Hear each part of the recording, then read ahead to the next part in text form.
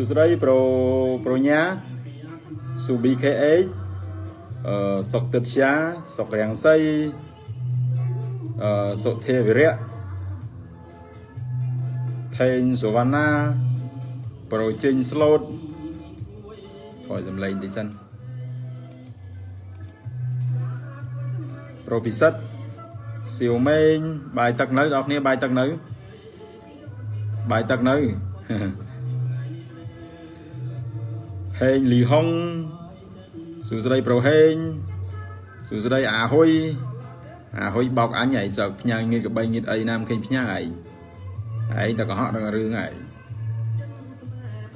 សួស្តីប្រូ flip loading ហូបបាយនៅបងបាយហើយបាយហើយបាយមិញរួចហើយមិញធ្វើមកខ្លួនឯងទៀតស្ងោរជ្រូកក្បាលត្រីហើយផ្អកផ្អកសាច់ជ្រូកផ្អកសាច់ជ្រូកអាំង មានអាប្អូនរដ្ឋានៅពងធំឲ្យផ្ញើមកហើយនឹងត្រីឆ្អើអើយតែប៉ុណ្ណឹងឯងមិនទៅណារួចទេបាយទៀតសល់លុយយប់ឡើងទៅវត្តភ្នំសួស្តីមនុសួស្តីឡាដា អ្នកវាយចាញ់ច្រើនណាស់បងជាពិសេសពូម៉ាក់ខ្ញុំរឿងចាញ់រឿងឈ្នះយើងកុំទាន់អាគិតឥឡូវយើងយើងតិចយើងនិយាយគ្នារឿងនឹងយំមិញបន្តិចបងសោតធัว7ភាសាមួយមក សូន7 7ភាសាអាចារ្យធំជេរចុយម៉ៃឡើយបងអាចារ្យធំបាទនេះបងមុងមកក្រៅកាហាយបងកំប៉ុងបាយអាបងបាយហើយហើយហើយពេជ្រកឹមស្រិននឹកអាចច្រេះអត់បងលីណាស៊ីតចេះនឹកអាចច្រេះមិននឹកច្រេះមែនច្រេះបងទៅថ្ងៃមុនតាចង់ទៅទៀតតើតែឥឡូវទៅអត់កើតនៅកន្លែងនឹងស្លមជូទាឆ្ងាញ់ជូទាព្រៃអូទាកប៉ា ខ្ញុំសូមអភ័យទោសផងការប្រយុទ្ធមិញប៉ាខ្ញុំកាត់សេចក្តីខុសបន្តិច referee e watching អាយ៉ាហើយលើថាញ៉ាកដាលោកលោក Danny Makeli គាត់កំពុងមើលដែរឡែសួស្តីទៅកាន់ធីម23 Fax សាខាភ្នំពេញផងហើយសមាជិកយើងកុំតន់អាទៅកោះពេជ្រទៅអីវើយនៅទៀតនៅអីដល់ភ្លេចចាប់ទៀតតើមិនចាប់អស់មួយក្រុមហើយចាំទៅគឺទៅដែលបងសុំជេរពួកម៉ាក់ខ្ញុំមួយឈ្មោះអាមិថុនា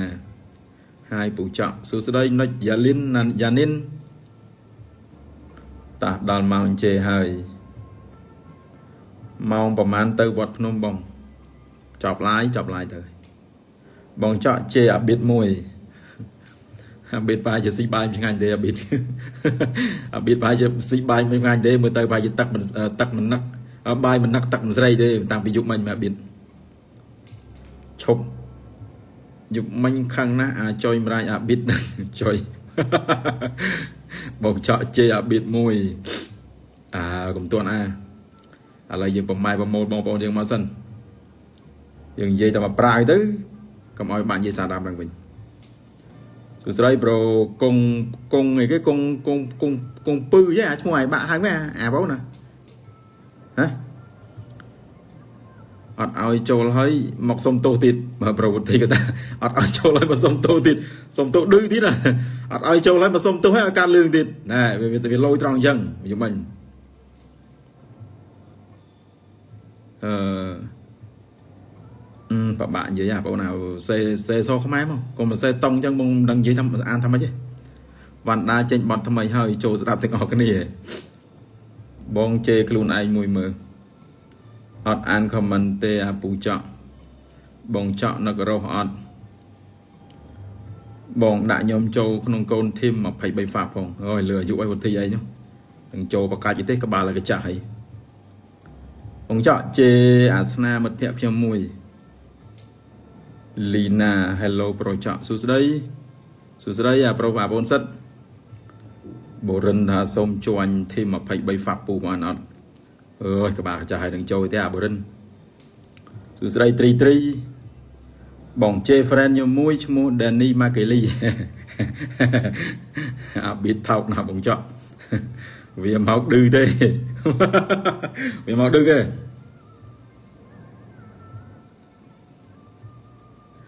បងជេ Cam Sport មួយម៉ោងហើយពូសំឡាញ់សួស្ដី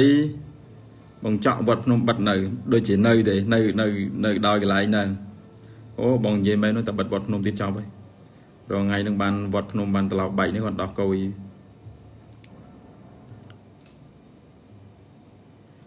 គុំ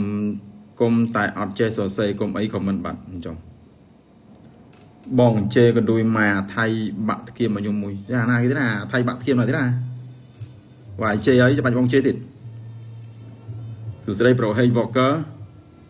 ហងអកឺហើយស្ដាច់ក្ដោបងទីចូល23ស្វាយរៀងហើយបងចော့អាយ៉ាសុយទីឥឡូវឮថាគេចង់គេចង់បង្កើតធីម23ហ្វាក់សាខាខេត្តស្វាយរៀងហើយប្រូសុយទីអូចាំបប៉ះគ្នាមួយ23ហ្វាក់សាខាភ្នំពេញអញ្ចឹងលួចបើកនៅនៅនៅស្វាយរៀងសាខា23ហ្វាក់ហ្នឹងមានមានមានសុំសិទ្ធហ្នឹងនោះប្រូសុយទីយ៉ាតគ្រោះថ្នាក់ គឺស្រូវប្រូប៉ូពៅថូមី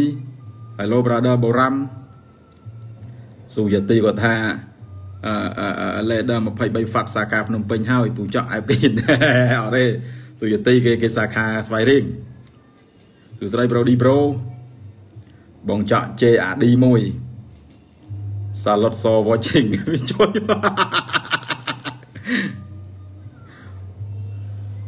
សួស្ដីប្រូចម្រើន តារាវ៉ាឌីបងជេបងជេអីខ្ញុំមួយចុំឯងឈូតទេអានោះទៅឲ្យជេអីខ្លួនឯងណាអេអានេះវៃយូរយូរទៅវាក៏សំណងពោវាខមមិនមកឯងឲ្យជេអីវាអើឯងឈ្មោះអីអាបងចាក់ជេមិត្តភក្តិខ្ញុំមួយឈ្មោះអារ៉ៃ KT ពូនេះជេពីរុះណាស់បើចង់ឲ្យពូជេមែន បងចောက်ថ្ងៃមុន V5 ជេបងឯងសាហាវណាស់ឥឡូវបងឯងសារ៉េមួយមកអីគេ V5 គេ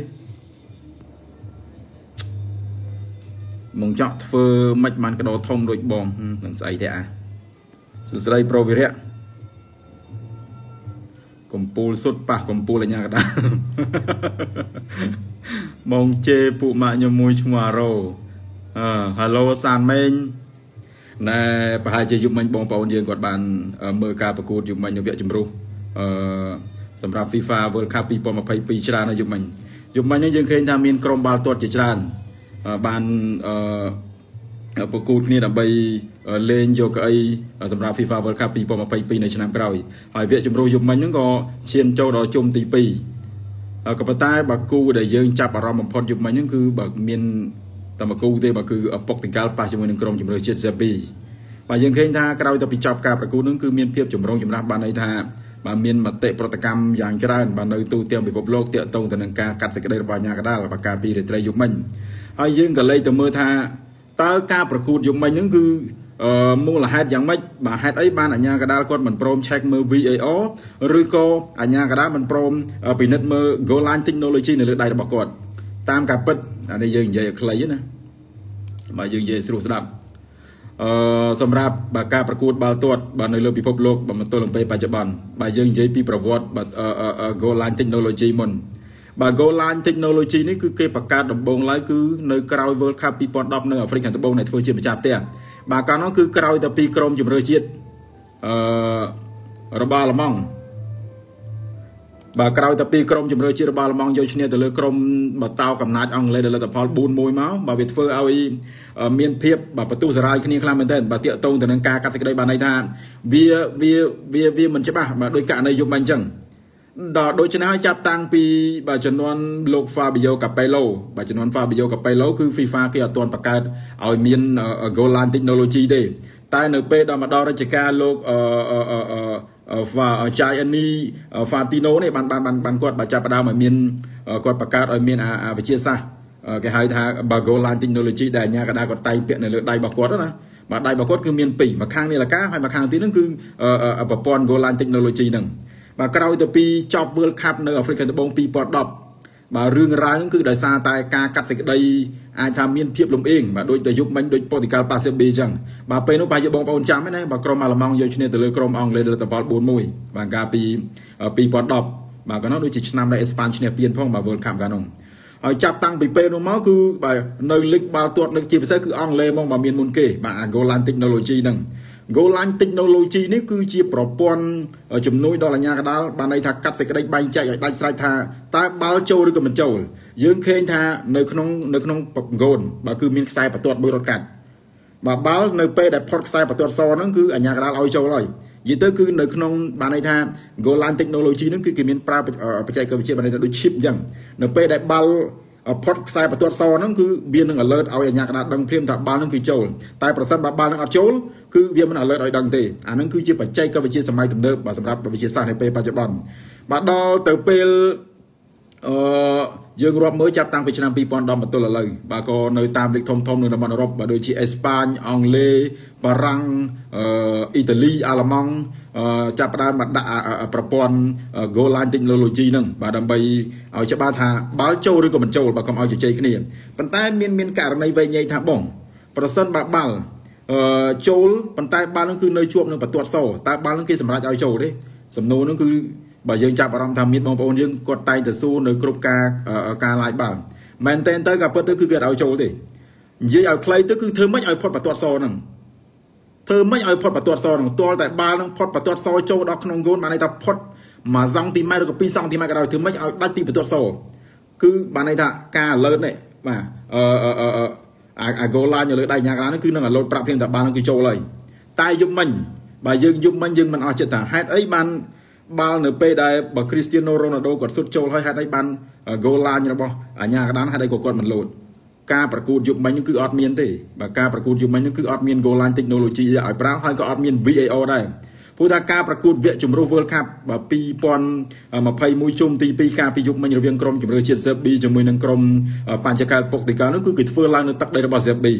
បើយើងដឹងហើយថាសេប៊ីគឺជាប្រទេសមួយដែលមានធនធានអភិវឌ្ឍកីឡាហ្នឹងគឺមិនសូវជារីកចម្រើនប្រមាណទេ ដូច្នេះហើយបានជាការប្រកួតយុបមិញនៅលើទឹកដីសេប៊ីនឹងគឺវាខ្វះខាតជាពិសេសគឺទៅលើប្រព័ន្ធបច្ចេកវិទ្យាខាងបាល់ទាត់បាទដូចជាបាទ goal line technology ដូចជា assistant video referee ជាដើមហ្នឹងដល់ពេលទាំងហ្នឹងហើយវាធ្វើឲ្យមានភាពចម្រូងចម្រាសបាទការប្រយុទ្ធមិញហ្នឹងថាសួរថាបងហេតុអីបានការប្រកួត World Cup ប៉ុណ្ណាប៉ុណ្ណេះមិនបានមិនបានគេមិនដាក់ឲ្យប្រើប្រព័ន្ធ goal line ហើយនឹង VAR ហើយធម្មតាយើងក៏មិននឹកស្មានថាបាល់នឹងវាចូលហើយក៏វាមានរឿងនឹងកើតឡើងដែរ តែបើយើងនិយាយឲ្យខ្លីទៅយុគមិញហ្នឹងគឺកំហុសអាញាកដាលហ្នឹងគឺជាបើកំហុសរបស់គាត់ទាំងស្រុងតែម្ដងបាទក្រោយទៅពីគាត់សម្រេចចិត្តលឿនហើយបាទគាត់មិនមិនមិនបានទៅពិភាក្សាជាមួយនឹងអាញាខ្សែអាញាកដាលខ្សែបន្ទាត់គេបាទគាត់បានទាំងបើពីនៃកាតលឿនទៅលើការតវ៉ាពីគ្រីស្ទៀណូរ៉ូណាល់ដូទៅទៀតយើងឃើញថាការប្រកួតយុមិញហ្នឹងគឺមានភាពតានតឹងខ្លាំងមែនទែនបើបន្ទាប់ពីបែកឆាកនៅតង់ទី1ក្រុមជំរឿជាតិប៉ុកទីកាល់បើកការនាំមុខទៅលើសេប៊ី2-0 បាទយប់មិញហ្នឹងគឺ Diego Jota រកគ្រាប់បាល់2គ្រាប់ម្នាក់ឯងអឺនាំមុខបាទទៅលើណែទៅលើក្រុមម្ចាស់ផ្ទះ ZB រហូតដល់ចប់តង់ទី1បាទលទ្ធផលគឺ2-0ដដែលបាទចូលដល់តង់ទី2ភ្លាមមកគាត់កែបាល់ផ្លេតបាទក្រុមជំរឿជាតិក្រុមជំរឿជាតិ ZB តាមបានមកគ្រាប់វិញបាទដល់ពេលហ្នឹងពុកតកលហាក់ដូចជាចាប់ដើមបែកបាទចាប់ដើមបែកហ្សឺបាទនៅពេលដែលអឺ ZB ចាប់ដើមបុកទៅបុកទៅហើយខូចបាល់តែមកគ្រាប់ពី Diego Jota អត់បោះឲ្យ Ronaldo បាទនៅពេលដែលបាល់ counter ពី ZB មកបាទ ZB ស៊ឹកចូលមកគ្រាប់ហើយរំលងបាន10នាទីជាងទៀត ZB ដាក់មកគ្រាប់ទៀតបាទ2ស្មើ2ស្មើរហូតដល់នាទីទី70 80បាទនៅតែស្មើទៀត2ទល់នឹង2ហើយមកទល់នឹងនាទីទី90ស្មើទៀតអាញាកដាលគាត់សម្រេចចិត្តបាទថែម3នាទីបាទខាងក្រុមការងាររៀបចំការប្រកួតនោះគឺថែម3នាទីបាទដើម្បីប្រកួតការប្រកួត3នាទីប៊ីគីទៅនឹងអស់ម៉ោងទៅនៅសល់តែប្រហែលដូចជា10សឺកុងទេ បាទខ្សែការពារឆ្វេងដែលទៅទៅនឹងប្រូចូលបាទគឺ Nuno Mendes បាទគាត់ជាអ្នកកាត់បាល់ពីពីជ្រុងខាងឆ្វេងបាទទៅឲ្យឲ្យឲ្យរ៉ូណាល់ដូនៅខាងស្ដាំនៅពេលដែលរ៉ូណាល់ដូគាត់បាទគាត់រត់ទៅគាត់រត់ទាន់បាល់អត់អបសាយទេបាល់ជុំមិញបាទគាត់ទះឲ្យចូលបាទផុតដៃអ្នកចាំទី Dimitrovic របស់ Zebi នៅពេលដែលបាល់ចូលទៅហើយបាទខ្សែការពាររបស់ Zebi ហ្នឹងក៏បាទផ្ដួលខ្លួនទៅ slide បាល់ហ្នឹងគឺចេញពីក្នុងហ្គោលវិញបានន័យថាបាល់ហ្នឹងគឺនៅមានចលនាប៉ុន្តែនៅក្នុងកំឡុងពេលដែលបាល់មានចលនាហ្នឹងគឺបាល់ហ្នឹងបានន័យថា វាមានភាពសពិសពិលអញ្ញាកដាលក៏ក៏គាត់ឈោនៅពីក្រោយនឹងដែរហើយបូករួមជាមួយនឹងអញ្ញាកដាលខ្សែបន្ទាត់មួយទៀតដែលគាត់ឈោចាំមើលបាល់ហ្នឹងតែនៅពេលដែលបាល់នឹងចូលទៅហើយ បាទខ្សែការពាររបស់សេប៊ីបានស្លាយបាល់នឹងចេញបើរ៉ូណាល់ដូគាត់បានស្រែកបើគាត់បានរត់ទៅតវ៉ាជាមួយនឹងអាញាកដាខ្សែបន្ទាត់ថាបាល់ខ្ញុំគឺចូលហើយតែអាញាកដាខ្សែបន្ទាត់គឺគាត់បានន័យថាគាត់គាត់កវីក្បាលថាមិនទេបើមិនមិនឲ្យទេបានថាមិនចូលទេនៅពេលដែលគ្រីស្ទៀណូរ៉ូណាល់ដូប្រឹងតវ៉ាជាមួយនឹងអាញាកដាខ្សែបន្ទាត់បាទស្រាប់តាប៊ីតធំនៅលើទីលានលោកម៉ាកេលីហ្នឹងបាទគាត់គាត់គាត់គាត់ដើរទៅគាត់ដកកាតលើងពីនៃគ្រីស្ទៀណូរ៉ូណាល់ដូបាទពីបាត់បានន័យថាមិនទទួលស្គាល់ការសម្រេចចិត្តមិនទទួលស្គាល់លទ្ធផលបាទដល់ពេលអញ្ចឹងពូដូគាត់ខឹងបាទគាត់ខឹងខ្លាំងណាស់គាត់ថា បាល់ចូលប៉ុណ្្នឹងហើយហើយអាញាក្រាមិនឲ្យទៀតបាទគាត់បានដើរចេញមកខាងក្រៅគាត់បានដកស្លាប្រធានក្រុមមកបោះចោលនៅលើទីលានក៏ប៉ុន្តែបើយើងសួរថាហេតុអីបានគាត់សម្រេចចិត្តបាទដើរចេញពីទីលានមុននឹងចប់ការប្រកួតហើយដកទាំងស្លាកប្រធានក្រុមបោះចោលនៅលើវាស្មៅឥឡូវបើយើងលើកយកអង្គហេតុបើយើងយកលើកយកដមចូលមកគឺ រឿងគឺវាមកពីអាញាកដាលខ្សែបន្ទាត់ហើយនឹងអាប៊ីតធំលោកម៉ាកេលីនេះដែលគាត់មិនមិនមិនមិនមិនព្រមពិភាក្សាគ្នាហើយគាត់មិនបានពិនិត្យមើលល្អល្អទៅលើការប្រកួតបានន័យថាទៅលើគ្រាប់បាល់ហ្នឹងហើយគាត់សម្រេចចិត្តបើលឿនពេកបាទឲ្យកាតលឿងហើយពីនៃមិនឲ្យមិនឲ្យគ្រាប់បាល់ហ្នឹងទៀតហើយយើងសួរថាតើយើងទទួលយកបានទេគឺយើងទទួលយកបានទេបាទគឺយើងទទួលយកបានទេមតិយុបមិញទូទាំងពិភពលោកអ្នកណាក៏គេទទួលស្គាល់អ្នកណាក៏គេសោកស្ដាយថាគ្រាប់បាល់ហ្នឹងគឺចូលហើយបាទចូលដោយមិនអាចប្រកែកបាន ប៉ុន្តែអាជ្ញាកណ្ដាលសួរថាក្រោយតែពីគាត់សម្រេចចិត្តទៅតើគាត់មានអ្វីកើតឡើងមកទល់នឹងពេលនេះបាទចប់ការប្រកួតគាត់បានដើរទៅសុំទោសគ្រូបង្វឹករបស់ក្រុមជំនឿជាតិពុកតកាលោកហ្វូណាដូសាន់តូសគាត់ថានេះគឺជាកំហុសរបស់គាត់ដែលគាត់ធ្វើប្រហែលនៅក្នុងការកាត់សេចក្តីគាត់ថាគាត់សុំទោសប៉ុន្តែលោកហ្វូណាដូសាន់តូថារឿងគឺវាក៏ឡងហួសទៅហើយបើទោះបីជាសុំទោសក៏វាមិនអាចកែប្រែស្ថានភាពវិញបានដែរព្រោះការប្រកួតនោះគឺលទ្ធផលផ្លូវការគឺ2ទល់នឹង2ប៉ុន្តែយើងសោកស្ដាយអាបាល់អាបាល់ចុងម៉ោងនេះអា90បុក3នេះ បាទ90បុក3នេះដែលអាញាកដាលគាត់នៅតែមីនះនៅតែជជែកមិនព្រមស្ដាប់ការតវ៉ាពីពីប្រធានក្រុមប៉ូទុយហ្គាល់គឺរ៉ូណាល់ដូហ្នឹងគ្នាស្រែកគ្នាថាបាល់ចូលហើយហើយមិនព្រមថាអឺអឺអឺអឺ stop សិនដើម្បីមើលវីដេអូនឹងសារឡើងវិញថាតាបាល់នឹងវាចូលឬក៏យ៉ាងម៉េចហើយឬក៏ទៅសួរអាញាកដាខ្សែបន្ទាត់ថាបាល់នឹងយ៉ាងម៉េចអីយ៉ាងម៉េចឥឡូវសួរគ្នាសិនឲ្យច្បាស់សិនអត់ អញ្ញាកដាលខ្សែអញ្ញាកដាលធំនៅលើទីលានយុគមិញបើមើលប្រវត្តិក៏មិនធម្មតាដែរលោក Danny Makeli នេះគឺគាត់ជនជាតិជនជាតិហូឡង់គាត់កើតនៅថ្ងៃទី28ខែមករាឆ្នាំ1983មានអាយុ38ឆ្នាំបើបងរ៉ូណាល់ដូតែមួយឆ្នាំទេពូដូថា37ហើយហើយញ៉ាកដាលយុគមិញហ្នឹងគឺបងមួយឆ្នាំបើគាត់មានអាយុ38ឆ្នាំហើយបើមើលពីអតីតភាពការងារគាត់ណាគាត់មិនបើគាត់មិនត្រឹមតែជាអាញាកដាលអឺកាត់សេចក្តីសម្រាប់ ការប្រកួតធំធំទេបាទការងារក្រៅរបស់គាត់នោះក៏ជាបលិសដែរបាទគាត់គឺជាបលិសនៅតំបន់អឺរ៉ូតដាមនៃប្រទេសហូឡង់បាទនៅទីក្រុងអាសាហើយគាត់នេះគាត់ជាប្រធានបានន័យថាជាសមាជិកបណ្ដុះបណ្ដាលនៃខាងក្រមអាជ្ញាកណ្ដាលនៅប្រទេសអង់គ្លេសដែរអញ្ចឹងបានន័យថាការងាររបស់គាត់ក្រៅទៅពីអាជ្ញាកណ្ដាលគឺគាត់ជាប៉ូលីសទៀតបាទនៅនៅទីក្រុងអាសាប្រទេសហូឡង់ហើយគាត់ទទួលបានសិទ្ធិបានន័យថាទទួលបាន license FIFA ផ្ដាច់ FIFA បើពេញសិទ្ធិបើពី សហព័ន្ធមកទាត់ពិភពលោកឲ្យធ្វើជាអាញាកដាហ្នឹងគឺចាប់តាំងពីឆ្នាំ2011មកអញ្ចឹងបានន័យថាបទពិសោធន៍ក៏ដូចជាការងាររបស់គាត់ហ្នឹងគឺជោគបានន័យថាជោគជាប់បានន័យថាគឺវាវាវាវាវាវាច្រើនមែនទែននៅលើការកាត់សេចក្តីប៉ុន្តែយើងនៅតែមិនអស់ចិត្តថាបាទដល់ថ្នាក់អាញាកដាពិភពលោកហើយហេតុអីបានគាត់សម្រេចចិត្តបាទបាល់ក្រុមហ្នឹងគាត់មិនបែងចែកឲ្យថាបាល់ហ្នឹងចូលឬក៏មិនចូលអត់មានទេប្រូអត់មានទេអត់មាន goal line អត់មាន VAR ទេការប្រកួតជំនាញគឺ direct ហ្មងបាទបានន័យថាការប្រកួតហ្នឹងគឺលេងឆាយហ្មងអាហ្នឹងគឺពឹងទៅលើអាប៊ីតអី ចឹងបានថាបាល់ទាត់ហ្នឹងហើយអឺបន្ទាប់ពីបាទបន្ទាប់មានភាពចម្រូងចម្រាសដល់នៅពេលដែលគ្រីស្ទៀណូរ៉ូណាល់ដូគាត់ខឹងគាត់ដើរចេញមុននឹងចំការប្រកួតគាត់ដើរទៅក្នុងបន្ទប់ផ្លាស់សម្លៀកបំពាក់អ្នកកសែតតាមសួរគាត់ទៀតអ្នកកសែតតាមសួរថាតើគាត់មានប្រតិកម្មឬក៏មានទស្សនៈយ៉ាងម៉េចទៅលើអាញាកដាកាត់សេចក្តីគាត់ថារឿងអាញាកដាកាត់សេចក្តី ពេលខ្លះគឺជាកំហុសបច្ចេកទេសបើពេលខ្លះអាចថាវាឆ្លោះឆ្លួយដែរប៉ុន្តែរឿងអញ្ញាកដាលដែលខ្វាក់ភ្នែកនេះគឺគាត់ទទួលយកបានទេអានេះគឺជាការបកស្រាយចំពោះទៅកាន់សារព័ត៌មានដែលគាត់បាននិយាយមុនចប់ការប្រកួតបើគាត់និយាយចឹងគាត់ថាគាត់មិនអាចទទួលយកបានទេនៅពេលដែលអញ្ញាកដាលខ្វាក់ភ្នែកទាំងពីរដែលអត់មើលទេទាំងគ្រាប់បាល់ដែលគាត់រោរោបានហើយសុទ្ធចូលហើយមិនឲ្យគាត់ទៀតហើយថែមទាំងពីនៃគាត់ទៀតហើយគ្រីស្ទៀណូរ៉ូណាល់ដូនេះគឺជាកីឡាករទី1លើលោកដែលសុទ្ធបញ្ចូលទីនៅវគ្គជម្រុះដែលទទួលបានកាតលឿន បាទគឺខ្លាចជាកីឡាករទី1ហើយដែលសុទ្ធជប់បាទសុទ្ធបញ្ចូលទីហើយនៅវគ្គជម្រុះសម្រាប់ការប្រកួត FIFA World Cup ហើយត្រូវបានទទួលការលើកពីអាញាកដាលទៀតនេះបានថាបើវាវាវាពិបាកនឹងទទួលយកបើការសម្រេចចិត្តយុបមិញហើយបើទោះបីជាយើងគិតថាអាញាកដាលគាត់បានសុំទោសតែសួរតើការសុំទោសរបស់គាត់នឹងគឺទទួលបានអីមកវិញ បើវាមានតែរឿងដែលហ៊ូចិត្តហើយនឹងសោកស្ដាយតែប៉ុណ្្នឹងទេហើយទូទាំងពិភពលោកយើងទៅមើលសារព័ត៌មានធំៗដូចជា Fox Sport ដូចជា ESPN បាទគាត់សុទ្ធសឹងតែបញ្ចេញចំណាប់អារម្មណ៍ថាវាជារឿងដែលគួរឲ្យហ៊ូចិត្តបំផុតដែលអាញាកដាលគាត់អឺมันបានឲ្យបាល់ទៅខាងប៉ូទុយហ្គាល់ឲ្យចូលប៉ូទុយហ្គាល់ត្រូវឈ្នះសេប3 2ឲ្យយំមិញតែលទ្ធផលចុងក្រោយវាទៅជា2ស្មើចែកគ្នាម្នាក់មកពងវិញសៀប2យំមិញបើមែនតែនទៅគឺចាញ់ចុងមកហ្មងអា90បុក3ហ្នឹងបើចាញ់ដោយគ្មានការតវ៉ាហ្មង ឲ្យពូដូនិយាយពីគ្នាប្រឹងតាំងពីតង់ទី1និយាយពីរត់អើយរត់ចង់ឡាប់ចង់រស់ហើយបើរត់បាទឆ្វេងផងស្ដាំផងហើយការបង្ហាញខ្លួនលើកយប់មិញហ្នឹងគឺជាការបង្ហាញខ្លួនលើកទី172ឲ្យក្រុមជម្រើសជាតិពុកតិកាល់ដែលគាត់សុទ្ធបាន102គ្រាប់បាទ102គ្រាប់ឲ្យឲ្យក្រុមជម្រើសជាតិហើយ102គ្រាប់ហ្នឹងគឺគាត់កំពុងតែត្រូវការ7គ្រាប់ទៀតបាទ7គ្រាប់ទៀតនេះគឺដើម្បីឲ្យតាមស្មើទៅនឹងកំណត់ត្រារបស់កីឡាករសញ្ជាតិអ៊ីរ៉ង់បាទមានឈ្មោះថាអាលីដេ អ៊ីអាលីដេអ៊ីរបស់រ៉ុននោះគឺគាត់សុទ្ធបាន109គ្រាប់ប៉ុន្តែបច្ចុប្បន្នគាត់ឈប់លេងហើយអញ្ចឹងរ៉ូណាល់ដូគាត់ត្រូវការខ្លាំងណាស់ពូយើងដឹងហើយថានៅក្នុងពិភពបាល់ទាត់បាទគ្រប់កីឡាករទាំងអស់ដែលមានកាតព្វកិច្ចលេងឲ្យជំរឿជាតិនឹងគឺបាទបានន័យថាគឺចាំបាច់ហើយក៏ចង់បានខ្លាំងណាស់នៅការសុទ្ធគ្រាប់បាល់ឲ្យក្រុមជំរឿជាតិមកគ្រាប់មកគ្រាប់មានគុណតម្លៃមិនអាចកាត់ថ្លៃបានទេបាទដូចមកគ្រាប់យប់មិនអញ្ចឹងបើយើងយកលុយរាប់លានដុល្លារទៅទិញនោះក៏មិនអាចទិញបានដែរ ព្រោះវាកើតឡើងដោយការប្រគួតប្រជែងវាកើតឡើងដោយការតាំងចិត្តវាកើតឡើងដោយការសាមគ្គីគ្នាអញ្ចឹងវាពិបាកនៅក្នុងការរកណាមកគ្រាប់មកគ្រាប់ហ្នឹងអញ្ចឹងបានរ៉ូណាល់ដូគាត់តវ៉ាគាត់ខឹងគាត់បាទដើរចេញបើមុននឹងការប្រគួតចប់ហ្នឹងបាទគាត់ដកទាំងស្លាកប្រធានក្រុមបោះចោលទៀតអញ្ចឹងបានតែវាវាវាវាវាវាវាសូម្បីតែបាល់ទាត់ពិភពលោកក៏នៅតែមានភាពលំអៀងមិនមិនមិនភាពមានមិនមិនសុក្រិតដែរហើយទាំងខ្ញុំទាំងគេលើកគិតមើលបងប្អូនមិនមែនថាអី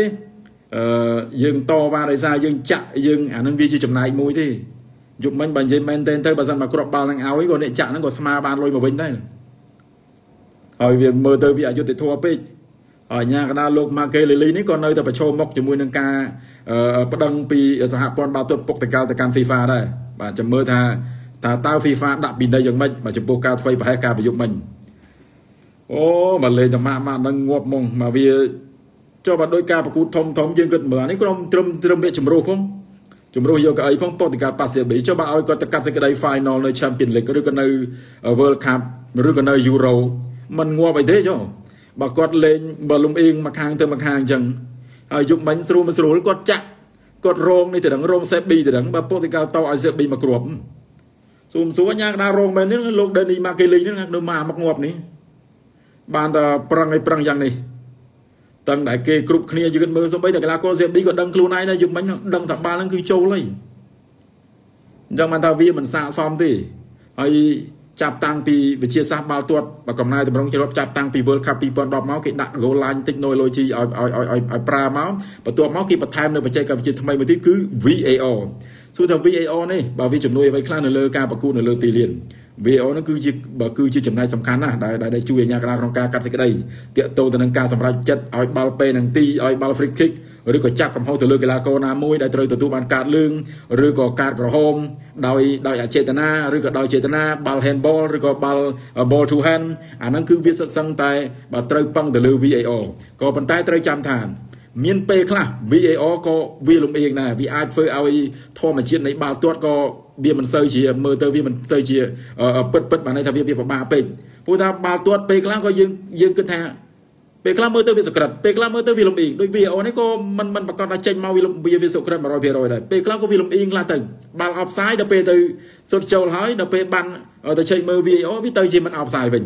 ហើយបាល់ត្រូវមិន offside ទៅមើល VAR បាល់ទៅជា offside វិញអាហ្នឹងបានធ្វើឲ្យបាល់ទាត់វាមិនអស់ចិត្តអញ្ចឹងអញ្ចឹងបានថាទោះបីមាន VAR បង្កើតឡើងក៏ពិតមែនប៉ុន្តែវាមិនប្រកាសថាសុក្រិត100%ទេប៉ុន្តែវាក៏ជាជំនួយទៅលើឲ្យឲ្យឲ្យដល់អាញាកដាលឲ្យគាត់មានភាពសុក្រិតបានន័យថាច្បាស់លាស់នៅក្នុងការសម្រេចចិត្តដែរតែយ៉ាងណាមិញបើយើងយប់បើនិយាយពីរឿងយប់មិញគឺយើងសោកស្ដាយខ្លាំងណាស់បើសោកស្ដាយសុំថាបោកក្បាលនឹងជាងហ្មងបើមកកដួយម៉ែអាថោកទៀតអាញាកដាលវាធ្វើមកក្បាច់នេះគឺ ដាច់ផ្ងាតោងហ្មងចុងម៉ោងនឹងមិនដែរម៉ាណាបាល់ចូលឡើងចង់កន្លះម៉ែត្រអីវាមិនផ្លុំវាទៅពីនៃគេកាត់លឿងទៀតយប់មិញនឹងវាសំហើយវាសំនឹងពូដូគាត់ដកស្លាកប្រធានក្រុមបោះចោលហើយគាត់ដើរចេញហ្នឹងហើយនឹងលីរកខ្មោចអាចអីទៀតបាល់ចូលមិនឲ្យចូលអី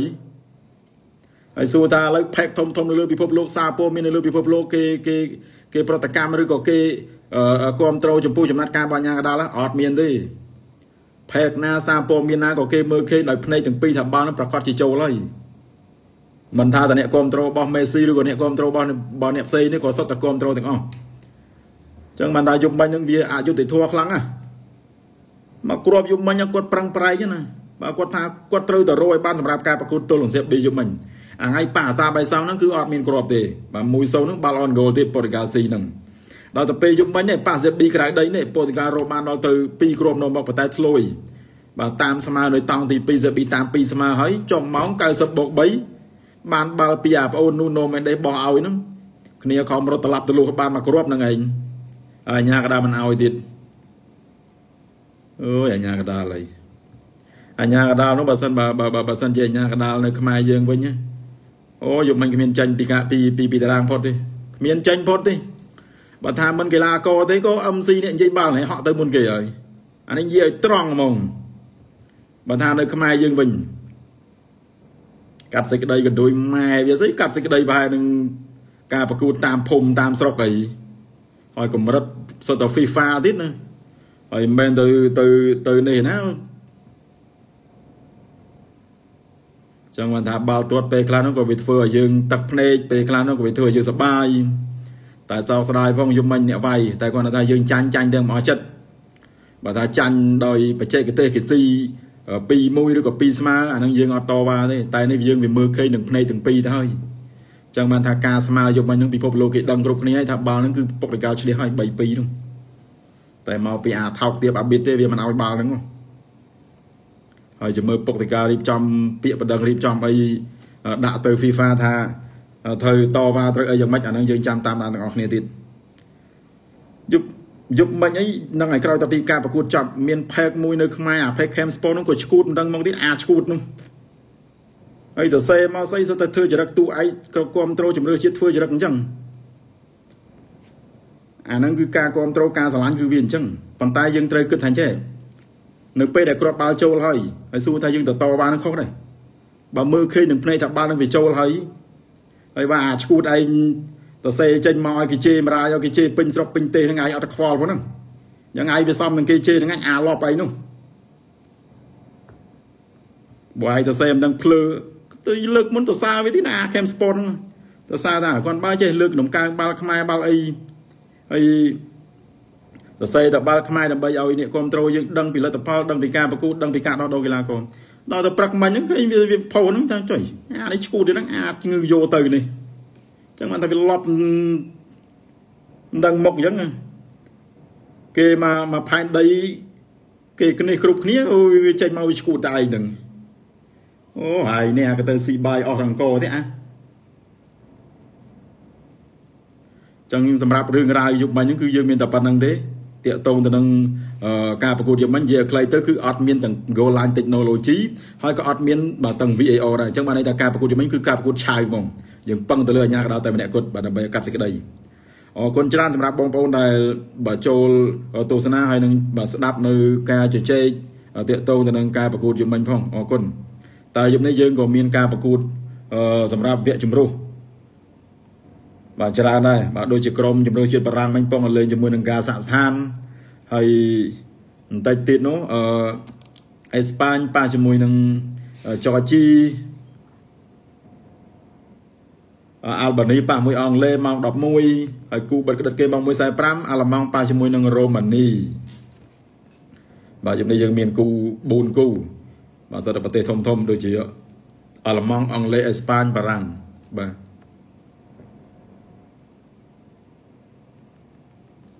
ហ្នឹងហើយថ្ងៃនេះមានតែប៉ុណ្្នឹងទេសម្រាប់ជជែកមួយបងប្អូនយើងហើយក៏អរគុណហើយក៏ជាចុងក្រោយបងប្អូនកុំភ្លេចបើចូលរួមអនុវត្តវិធានការ3កុំ3ការពារដែលយើងត្រូវតែអនុវត្តឲ្យខាងតែបានតាក់ទងទៅនឹងការឆ្លងរីករាលដាលនៃវីរុស COVID-19 ព្រោះថាកំណើននៃការឆ្លងបច្ចុប្បន្នហ្នឹងគឺកាន់តែមានភាពបាទការឡើងពីមួយថ្ងៃទៅមួយថ្ងៃមួយថ្ងៃទៅមួយថ្ងៃអញ្ចឹងយ៉ាងណាមិញបងប្អូនជួនរួមជាតិបាទនៅតាមបណ្ដាខេត្តក្រុងរាជធានីទាំង25ខេត្តក្រុងកុំភ្លេចបាទចូលរួមទាំងអស់គ្នា បាទព្រោះមានតែយើងខ្លួនយើងទេដែលអាចទប់ស្កាត់ការឆ្លងនៃវីរុស COVID-19 នេះបើទោះបីជាយើងបានចាក់វីរុសបានចាក់វ៉ាក់សាំងការពារវីរុសនេះហើយក្តីក៏ប៉ុន្តែយើងចាំបាច់ក៏យើងនៅតែប្រកាន់ការការពារឲ្យបានខ្ពស់ជានិច្ចបាទសូមអរគុណ